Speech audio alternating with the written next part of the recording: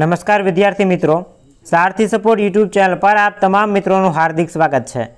તો આજના આ વિડીયોની અંદર બનાસકાંઠા શાળા વિકાસ સંકુલ દ્વારા લેવાયેલું ધોરણ બાર અંગ્રેજી વિષયનું પ્રશ્નપત્ર સોલ્વ કરવાના છે. જો તમારે પ્રશ્નપત્રની પીડીએફ ડાઉનલોડ કરવી હોય, તો ડિસ્ક્રિપ્શનમાં આપેલી લિંક ઉપરથી અથવા તો આપણી જે સારથી સપોર્ટની એપ્લિકેશન છે, એના ઉપરથી મેળવી શકશો. જેની લિંક પણ તમને આ વિડીયોના ડિસ્ક્રિપ્શનમાં મળી જશે. સૌથી પહેલાં આપણે વાત કરી કે તારીખ ત્રણ દસ બે હજાર ત્રેવીસના દિવસે ધોરણ બારની અંદર આ પેપર લેવાઈ ગયું છે. જો તમારી શાળાની અંદર કદાચ અંગ્રેજીનું પ્રશ્નપત્ર હજી બાકી હોય તો આમાંથી ઘણા બધા પ્રશ્નો તમને જોવા મળી શકે છે અથવા તો આ પેપર ઉપરથી તમને પ્રશ્નપત્રનું પરિરૂપ કેવું આવશે એના વિશે માહિતી મળી જશે. સૌથી પહેલાં આપણે સેક્શન એની વાત કરીએ તો સેક્શન એની અંદર તમને સૂચના આપેલી છે write whether the sentence true or false મતલબ કે આપેલા વિધાન સાચા છે કે ખોટા તે જણાવો. ચાર માર્ક્સની અંદર પૂછેલું હતું. એમાંથી પહેલો ક્વેશ્ચન છે કસ્ટમર વોઝ ટેકનિકલી પાવરફુલ તો આ વિધાન છે, એ ખોટું આવશે. ત્યાર પછી બીજો ક્વેશ્ચન છે Walt saved a lot of money તો આ વાક્ય છે, આ વાક્ય પણ ખોટું છે. ત્યાર પછી our mind body and emotion work together તો આ વિધાન ટ્રુ આવશે. અને ત્યારબાદ છેલ્લું વાક્ય છે doctor Kamble said there was no sure cure for Nana's mental disorder તો આ વિધાન સાચું છે. ત્યારબાદ આપણે એના પછીના ક્વેશ્ચનની વાત કરીએ તો તમને સૂચના આપેલી હતી find out the nearest meaning of the following words મતલબ કે અહીંયા તમને જે શબ્દ આપેલા છે, આ શબ્દના નજીકના શબ્દ તમારે લખવાના હતા. એમાંથી પહેલો વાક્ય તમને આપેલો તો કુબિંગ એના પછી ડ્રેડફુલ અને ત્યારબાદ ઓમિથોલોજી. તો આમાંથી જે ઓમિથોલોજી શબ્દ છે, આનો અર્થ થાય સ્ટડી ઓફ બર્ડ્સ, મતલબ કે જે પક્ષીઓ હોય, એનો અભ્યાસ કરતું શાસ્ત્ર હોય, એને ઓમિથોલોજી કહેવાય. ત્યાર પછી આપણે આગળ વાત કરીએ તો આગળનો ક્વેશ્ચન છે select the most appropriate language functions from the brackets and write them against the given sentence મતલબ કે આપેલા જે કૌંસની અંદર ફંક્શન છે, એને વાક્યની સામે તમારે લખવાના છે. કૌંસમાં તમને ફંક્શન આપેલા હતા એક્સપ્રેસિંગ એડવાઇસ સલાહ દર્શાવો expressing habitual action in past ભૂતકાળની કોઈ ટેવ દર્શાવો talking about people in relation to something મતલબ કે વ્યક્તિનો કોઈ બીજી બાબત સાથે સંબંધ દર્શાવવાનો છે. જેમાં તમને આઠ નંબરનો ક્વેશ્ચન હતો we use to play outdoor games instead of playing with mobile phone અહીંયા instead of playing with mobile phone અને બીજું અહીંયા આપેલું છે we use to use to છે હંમેશા ભૂતકાળની કોઈ આદત માટે વપરાય. તો અહીંયા expressing habitual action in past જવાબ આવશે. ત્યાર પછીનો ક્વેશ્ચન હતો the child wanted to buy the some toy as was displayed in the shop તો આ જે વાક્ય આપેલું છે, આની અંદર talking about people to relation to something આ જવાબ આવશે. ત્યારબાદ છેલ્લું વાક્ય હતું one should follow traffic rule strictly મતલબ કે આપણે છે ટ્રાફિકના નિયમો સખતપણે પાલન કરવું જોઈએ. તો અહીંયા એડવાઇઝ આપેલી છે, એટલે એક્સપ્રેસિંગ એડવાઇઝ સાચો જવાબ છે. ત્યાર પછીના ક્વેશ્ચનની વાત કરીએ તો select the most appropriate response function sorry response focusing on given function મતલબ કે ચાર ઓપ્શન આપેલા છે ફંક્શનના એ તમારે ટીક કરવાના છે ખાલી.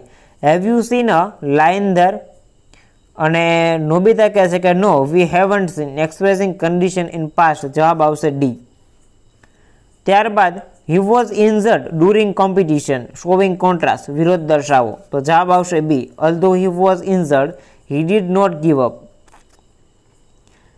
ત્યાર પછીનો ક્વેશ્ચન છે Baahubali I want to be a successful person showing purpose હેતુ દર્શાવવાનો છે, જવાબ આવશે સી ત્યારબાદ, ચૌદ નંબરનો ક્વેશ્ચન છે look at the cream what are they doing તો એમાં જવાબ આવશે if you look at if we will understand જવાબ આવશે એ ત્યાર પછીનો ક્વેશ્ચન જોઈએ તો select and write the most appropriate question to get the underline word phrase as their answer મતલબ કે પ્રશ્નનો જવાબ તમને આપેલો છે, પ્રશ્ન બનાવવાના છે. પંદર નંબરનો ક્વેશ્ચન છે due to is laziness Rajni lost the chance of promotion તો એમાં જવાબ આવશે ડુ ટુ હિઝ લેઝીનેસ નીચે અંડરલાઇન છે, એટલે વાય ડીડ રજનીવાળું ક્વેશ્ચનનો આન્સર આવશે? એ. ત્યારબાદ a canal was being dug by the workers તો અહીંયા અ કેનલ નીચે અંડરલાઇન કરેલી છે, તો અહીંયા જવાબ આવશે C what was being dug by the workers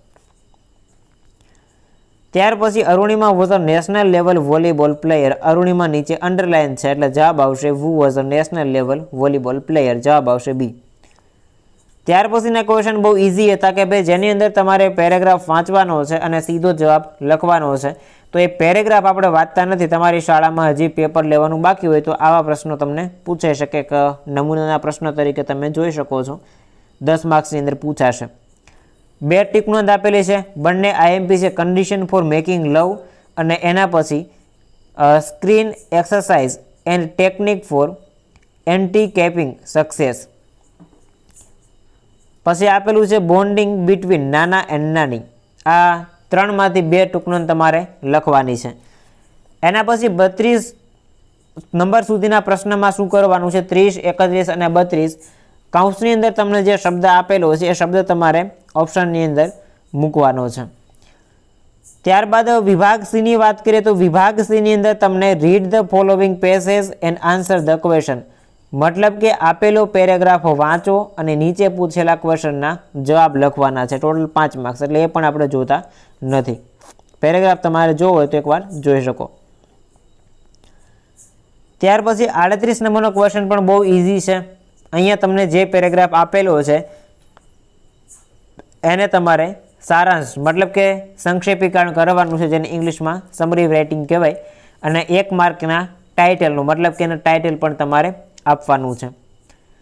ત્યાર પછીના ક્વેશ્ચન પણ ફરીવાર બહુ ઇઝી છે કે ભાઈ read the news clip and answer the question મતલબ કે પેરેગ્રાફ વાંચવાનો છે ન્યૂઝ ક્લિપ તમને જે આપી છે, અને એની નીચે તમને જે પ્રશ્નો પૂછેલા છે, આ પ્રશ્નોના તમારે જવાબ લખવાના હોય છે. ત્યાર પછીનો ક્વેશ્ચન આપેલો છે read the stanza and answer the question મતલબ કે આપેલું કાવ્ય વાંચો અને એના નીચે પૂછેલા ક્વેશ્ચનના જવાબ લખવાના છે. એકવાર પોઈમ તમે રીડ કરી શકો છો. ત્યારબાદ વિભાગ ડી આખો ગ્રામરને લગતો હશે, જેમાં ડુએસ ડાયરેક્ટેડ તમને પૂછેલું છે. અહીંયા Tarak Mehta ka ulta chashma is one of the most popular series તો અહીંયા ઇઝ આપેલું છે, અહીંયા વોઝ આપેલું છે. મતલબ કે સિમ્પલમાંથી પાસ્ટમાં ફેરવવાનું છે. Then the company has appointed a new officer તો અહીંયા a new officer has been appointed મતલબ કે ટેન્સ ચેન્જ કરવાનો છે. એના પછી ઇનડાયરેક્ટ સ્પીચ તમને પૂછેલી છે ચાર માર્ક્સની અંદર. પછી complete the sentence choose the correct option મતલબ કે કરેક્ટ ઓપ્શન સિલેક્ટ કરી અને એક આખી આખું વાક્ય સેન્ટેન્સ તમારે તૈયાર કરવાનું છે. ત્યાર પછી છે એ આપણે વિભાગ ઈ ઉપર આવીએ તો વિભાગ ઈની અંદર તમને એક ડેટા આપેલો છે અને એ ડેટાના આધારે તમારે એંસી શબ્દની અંદર એક નિબંધ જેવું લખવાનું છે. અને અહીંયા તમે જોઈ રહ્યા છો કે ભાઈ એક કોઈ વ્યક્તિ વિશેની માહિતી અહીંયા બધી આપેલી છે. બોલર વિશેની આખી માહિતી આપેલી છે. ત્યારબાદ પેરેગ્રાફ, મતલબ કે નિબંધ તમને પૂછેલો તો માય ફેવરિટ કાર્ટૂન સિરીઝ મતલબ કે જે વોલ્ટ ડિઝનીવાળો પાર્ટ છે, એને લગતી આખી આખી આ ઘટના તમે આની અંદર આ લખી શકો. ત્યારબાદ બેનિફિટ ઓફ પોઝિટિવ એટીટ્યુડ હકારાત્મક અભિગમ વિશે તમને એક નિબંધ પૂછેલો છે. ત્યારબાદ માય ગ્રાન્ડ પેરેન્ટ મતલબ કે જે ધ એડજસ્ટમેન્ટવાળું પાર્ટ છે, એને લગતું એક પૂછ્યું છે. એના પછી એક સ્પીચ તમને પૂછેલી છે. અહીંયા માહિતી પણ આપેલી છે. Prepare a speech on the subject love is more powerful than hatred તો આ રીતે તમારે આખું જે પ્રશ્નપત્ર છે, અંગ્રેજી વિષયનું, એ આવી રીતે બનાસકાંઠા શાળા વિકાસ પરીક્ષા સંકુલનું ક્વેશ્ચન પેપર છે, તમારે પીડીએફ ડાઉનલોડ કરવી હોય તો ડિસ્ક્રિપ્શનમાં અને આપણી એપ્લિકેશનમાંથી ડાઉનલોડ કરી શકો છો. તો મળીએ છીએ નવા વીડિયો સાથે. જય હિન્દ, જય ભારત.